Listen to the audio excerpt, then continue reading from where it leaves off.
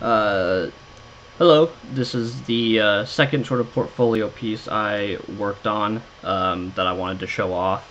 Um, it's very short, very unrefined. I only spent about four days putting this together, um, but I'm just going to talk through what it was, what I did, different things like that, especially because um, because of user error, I can't package this project up so that you can play it yourself. Um, so right off the bat, the controls. Um, I was not intending to do this. There was supposed to be a story, but because both of my good microphones crapped out at the same time, uh, I was unable to record custom audio that I wanted to use to sort of tutorialize the player and have some sort of story that actually went through this like two minute little scene. Um, but here we are. Uh, so movement interact slow time, which if you hold the right mouse button, you can see everything slows down, let go, it's back to normal, and then shift and crouch will do a little bit in a second. Um, the F to interact is sort of a joke. What you'll be able to see is that is my foot that you can see flashing up on screen. Uh, I had a custom kick animation that I actually had to play at double speed because normal speed was way too slow. Um, but now it's actually kind of hard to tell what exactly this is when you hit F. So sort of a joke is like, oh, interact with this door to open it, and then you just kick it open. Um, and then it gives you, oh yes, actually it's F to kick and E to interact, and then it gives you the rest of your controls. Um, so you can, and now at this point, once players know that they can kick, they might be inclined to kick this door, which has a nice little launch. Uh, coming out here, you were supposed to discover that things are not what they seem, and your house is actually inside of this little facility thing. Um, but this is where the player was meant to sort of experiment with the movement mechanics. So you can sprint, uh, you can crouch. Uh, if you sprint and crouch, you'll slide. Um, and then you can also wall run. Oh, you can double jump as well in whatever direction you like but you can actually, if you hold whatever side the wall is on, so it's on my right side, so if I hold D while I'm against the wall, I'll actually run on the wall. And it's actually a pretty robust system. It accounts for angles and me being able to switch to a different wall without falling down. Um, I can actually turn around and hit A and I'll start running the other direction. Um, if I let go of W, you know, I fall down off the wall. Um, can I? I can't wall run backwards. I don't think. No. Uh, although that would be pretty easy to implement. So this is just sort of meant to show the player, you know, give the player a chance to experiment with their movement before they get into the next level, which uh, having connected levels is nothing I'd done before, so uh, it is pretty simply done. Just interact equal, or, you know, interact leads to open map 2. Um, but we'll go ahead and do that. And it froze. Oh, there we go. So it's loading. So you can see right off the bat, there's an AI guy that ran off. Um, I do have functioning AI. They're pretty simplistic. Uh, it took me a while to get them working. I haven't really worked with AI before. Um, I've worked with them enough to know how to make a nav mesh, and that's about it. um, he was intended to stay where he was, but I needed to create a new kind of AI or something for that. Um, so he just runs off, but he was intended to be standing about here so that he's, you know, right in front of this conveniently placed gas can that has the kick button in front of it so that you can kick things. And uh, if you kick them into people, it will damage them. And this is kill to heal. Uh, your health bar's in the lower left. It's that red bar. Um, and something I would like to fix given more time is this. Um, as it turns out, it actually, well, if I hit it, you can see it damages me. That's because it just set up to, on a hit event, it just applies damage equal to its mass. Um, and if you're lucky enough to only get hit once, you survive like I did. Um, but usually it hits you a bunch of times.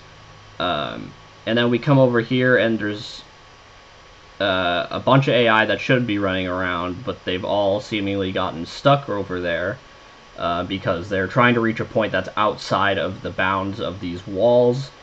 but is still in the nav mesh and is still part of the environmental query. So we'll go ahead and try and get a couple of them to aggro to me. Uh, there we go. Uh, and so they will they'll shoot at me, they'll chase me. Um, it's going to look kind of wonky because they're all doing it at the same time. Uh, come on, sir.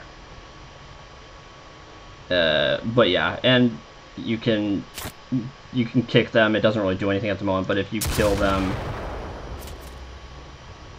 I think I ran into a gas canister there. Um, if you kill them, it does heal you. And the shotgun is actually pretty accurate. It shoots 12 individual, it's 12 line traces, but they're spread out um, with a tendency to cluster towards the middle. So it's actually a fairly realistic approximation of a shotgun, although given another week, I would like to switch it to spawning actual projectiles so that the player has an opportunity to sort of slow time and try and dodge things where, you know, if you're in the air and then you can use your double jump to try and evade projectiles. Um, so that's the sort of idea. Um, and so this is just meant to be a small little area that sort of gives you a chance to experiment with the combat before we move on to our final area, which uh,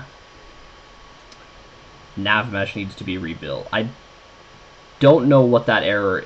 I don't know. That, again, that's something else. Given another week, I want to figure out like what these errors are because when I play this in the editor, um, the level usually works out just fine. So it, this is not a constant error that occurs. So I'm not sure why I'm getting this. Um, but in the meantime, the nav mesh is just going to not function. Uh,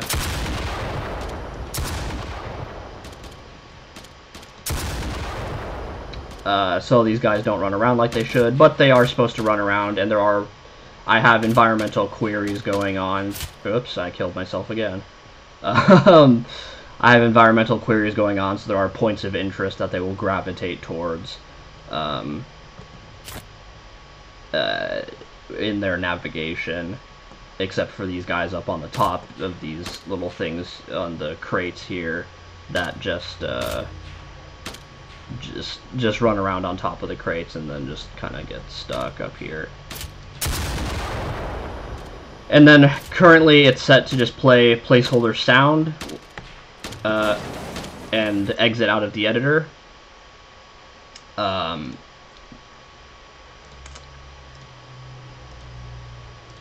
uh, because again, I didn't have custom audio to put there for sort of congratulating the player on getting through. Um, and uh, I was going to do something a little bit more intensive for the quitting the game, like a, just a fade to black or something, but um, it was getting late when I was at that part finishing it off, and I so I just threw in the like placeholder effect of here's the sound, quit game. Um, but then, um, you know, my audio broke down, and so I just sort of made that the ending, and then I can't package it either, so it really didn't make a whole lot of sense to put in all that stuff for the player. Um, so I know that was super short, um, but that was just a little look at me messing around with trying to get some AI, some movement mechanics, um, that sort of thing, and just trying to create a little bit of a space for the player to mess around with. If we, oops, sorry for that shotgun blast. Uh, actually, these doors are all unlocked. you can just run through. You don't actually have to do anything. Um, so if we uh, kind of come through. Yeah, you can see they're all kind of running around, except they've all... I don't know why they all went to that point. It's random. They're not supposed to all go to the same point. They they do randomly uh, choose where they're supposed to go, so it's just sort of unlucky that they've done that. Um, but just coming around here, this was meant to just be like our first sort of real arena for the player to mess around with as you can see, there's a lot of gas cans placed about for the player to kick, and there's, you know, some interesting geometry with the crates and to provide some cover and uh, and something for you to, you know, interact with, wall run off of. Uh, and that sort of thing.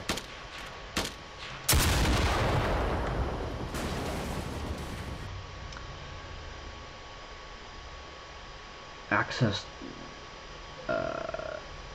Yes.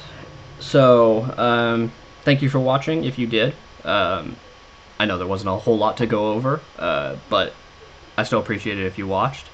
And um, have a good day.